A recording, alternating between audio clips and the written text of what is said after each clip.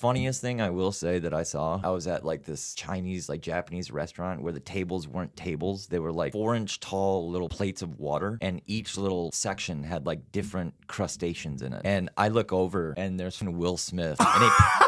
He puts on this duck bill, like like a duck, oh. and he just dives his head and Oh. I was like, "What the f- just happened?" And then I was like, "No, I'm dreaming." And then I got it. Shark Tale's your favorite movie, dude? This all sounds was a like good Shark one. Tale. It Hey-o.